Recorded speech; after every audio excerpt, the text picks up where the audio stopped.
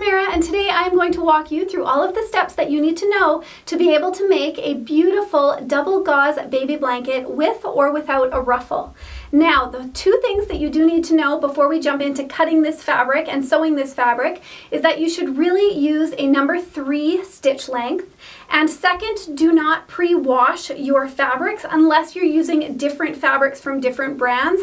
Perhaps they're made differently, then the shrinkage may happen a little bit differently. But for the most part, I would suggest not pre-washing this because when you pre-wash it, it will get really, really wrinkly and just that much harder to sew with. So with all of that said, let's jump into this tutorial.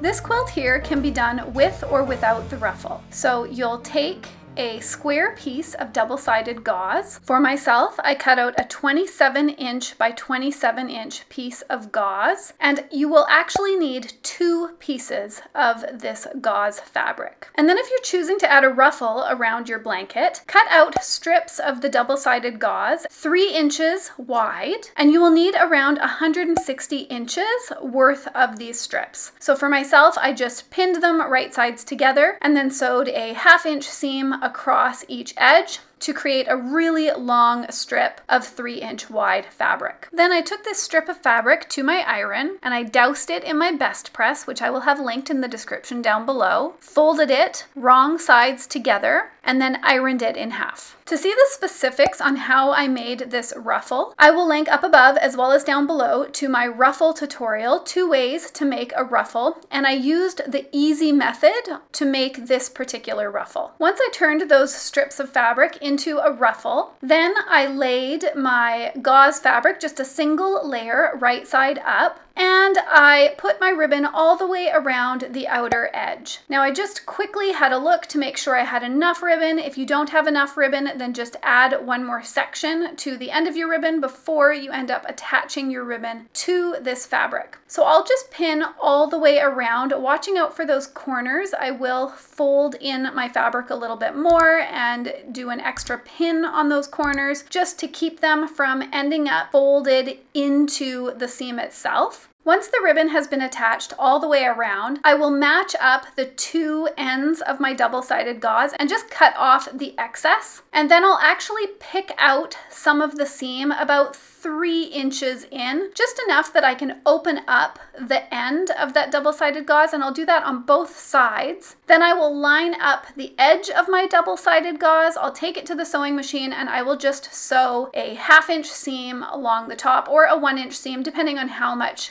space you left when you cut the excess off. It doesn't have to be perfect because you're working with a ruffle and you're working with really nice squishy double-sided gauze, so any imperfections that you end up making will be hidden by the adorable fluffiness that is double-sided gauze. So right here, I'm just gonna take it to the sewing machine and I'm going to attach our two end pieces of our ruffle together. And then I will line it up along my outer edge and finish clipping it in place. And then it's time to add our second piece of double-sided gauze on top. So we'll lay that one right side facing down and we will just attach it all the way around the outer edge, making sure to mark one area with pins instead of clips. I like to do this because then I don't forget what I'm doing when I bring this to the sewing machine. And just mark a section around three to four inches in width with your pins and you will not sew over that section because that's the section that you will need to turn this entire project right side out. Then take it to your sewing machine starting at one pin, sew all the way around the entire outer edge at a half inch seam allowance, stopping at the next pin. So you'll end up leaving that three to four inch opening. Now, if you are doing this without the ruffle, all you would do is lay your two pieces of double-sided gauze together. You would do this exact same thing, pin it all together, leaving that three to four inch opening on one end, and you will take it to the sewing machine and do this next step. So I sewed around the entire outer edge minus that pinned area at about a half inch seam allowance. When I made my ruffle, I created my ruffle at a quarter inch seam allowance. That way now when I'm sewing across my ruffle, I'm hiding the seam that created the ruffle in the first place. Once you've sewn around the entire blanket, then just clip away those corners and any excess ruffle that you have, just clip that away as well. We're essentially just trying to get rid of as much bulk as possible. And then it's time to turn it right side out, making sure to point out all four corners. I like to use a chopstick to do this, but just be very gentle. That way you don't push out the entire corner. And once you've done that, then take it to your iron and just press down around the entire outer edge. I like to do this using my best press because it makes the fabric a lot more crisp. And while it's crisp, it makes it much easier to sew. And while you're ironing around the entire outer edge,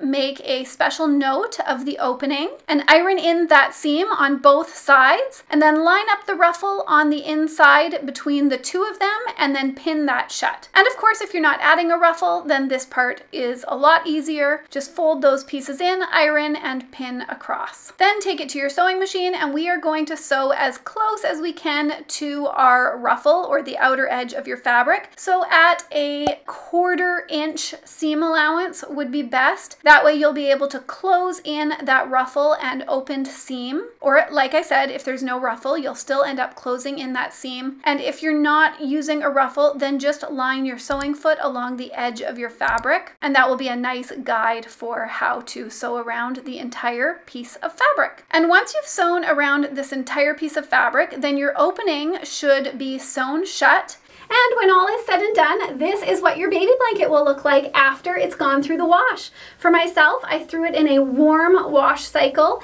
and then I threw it in the dryer on a high heat. Well, not a high heat, but on a full dry.